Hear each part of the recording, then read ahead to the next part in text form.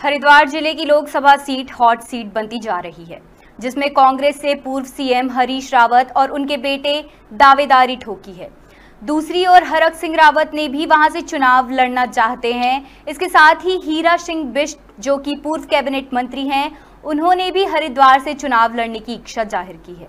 इसके साथ ही उन्होंने मीडिया में अपना बयान भी जारी किया है। ऐसे में पार्टी के सामने बड़ी ही असमंजस की स्थिति पैदा हुई है।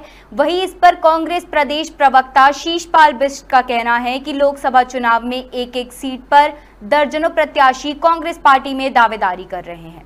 इसमें कोई भी गुटबाजी जैसा सवाल नहीं है। शीशपाल बिष्ट ने कहा कि जैसे ही केंद्रीय नेतृत्व किसी एक प्रत्याशी पर सहमति बनाएगा, सब नेता उसके लिए काम करेंगे। देहरादून से ब्यूरो चीफ अवनीश गुप्ता की रिपोर्ट।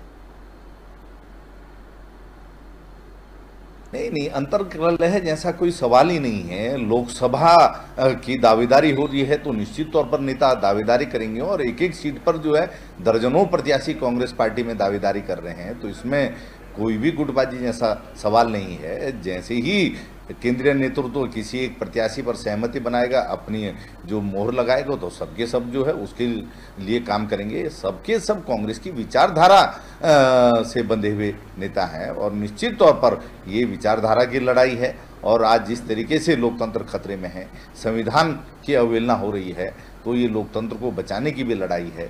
ये गरीब, मजदूर, किसान मात्र शक्ति की भी लड़ाई है। तो निश्चित तौर पर जो है, ज़्यादा प्रत्याशी होना इस बात का शुभ संकेत है कि आज भी अंधेरे में उजाले की किरण आम आदमी को हो, चाहे नेतृत्व को हो, लोगों को हो, वो कांग्रेस के रूप में दिखाई दे रही है।